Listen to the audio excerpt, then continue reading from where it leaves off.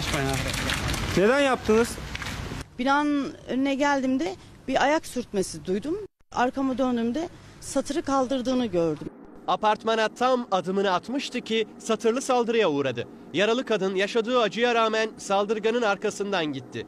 Bu vahşi saldırının arkasından iki çocuğunun babası 22 yıllık kocası çıktı. Bizim binadan biri yani kapıyı açtım. O da arkamdan gelecekti asansöre biner diye. Arkama döndüğümde satırı kaldırdığını gördüm. Kolumda kesik var, elimde kesik parmak.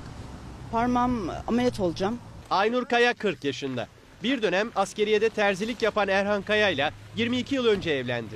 İddiaya göre bir süredir eşinden şiddet görüyordu. Şiddet, geçimsizlik, hakaret. Yani ne sayarsanız hepsi var. Aynur Kaya eşinin hakaretlerinden ve şiddetinden artık bunaldı. Ayrılma kararı aldı. Ancak eşinin ısrarı doğrultusunda evlilikleri bir süre daha devam etti. Ankara'dan Bolu'ya taşındılar. Sonra 2-3 ay beraber durduk. Yürümedi. Ondan sonra ayrıldı. Araç vardı benim adıma. Trafikten aracı çektirdim. Tam bir ay olmuştu. Bu olayı gerçekleştirdi. Ankara'ya dönen ve taksicilik yapan kocası bir süre hiç onunla görüşmedi. Bu bir sene e, süre zarfında sizi tehdit etti mi? Hayır. Zaten sessizliğinden korkuyordum.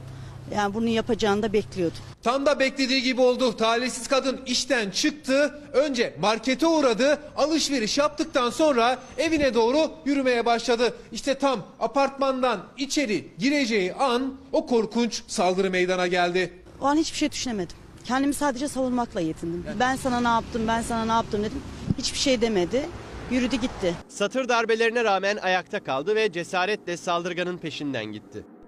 Ben zaten arkasından koştum tekrar. Sonradan tahmin ettim. Yani ondan başka kimse yapamaz. Benim hiçbir düşmanım yok. Ekipler saldırganın Ankara'ya kaçtığını belirledi. Saldırıda kullanılan satır yol üstündeki bir dinlenme tesisinin tuvaletine bırakıldı. Polis onu bulduğunda yalnız değildi. Yanaşmayın arkadaşlar. Neden yaptınız? Cinayet büro ekipleri iki şüpheliyi sorguya aldı ve gerçekte ortaya çıktı. Aynur Kaya'ya satırla saldıran kişi eşi Erhan Kaya'nın arkadaşından başkası değildi. İnsansa yüzüme çıkar konuşurdu. Demek ki insan değilmiş. İddiaya göre Erhan Kaya eşine gözdağı vermek için bu planı yapmıştı. Arkadaşı seni tanırlar ben yaparım dedi ve Aynur Kaya'ya satırla saldırdı. Erhan Kaya ve arkadaşı İsmail Peker tutuklandı ve cezaevine gönderildi.